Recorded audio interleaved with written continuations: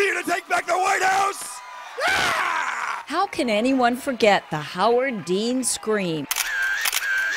Former Des Moines Register photographer Doug Wells waited five hours to point and click at the right second to capture the moment. We have the best seats in the house usually. This is a body of work by news photographers who work long hours peering through a lens for one perfect picture, and each tells a story. This is actually taken during a caucus. I just really like the way the people look. And there's the famous bumper car picture. I remember that one. This is August of 2015.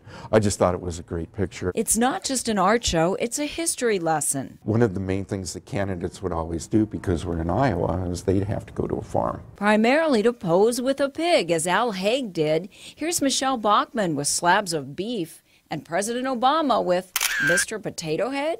Actually, some of the pictures taken here are by Pulitzer Prize winners. Not everybody knows this, but we have three Pulitzer Prize winners that are still living here in Iowa. If a picture speaks a thousand words, these will make you smile, think, and realize our special opportunity to zoom in and focus on the next president. There's the old adage that if you're an Iowan and you haven't had your picture taken with the next president of the United States, you're not trying very hard. I think things like this just make it fun, that make it interesting. Cynthia Fodor, KCCI 8 News, Iowa's news leader.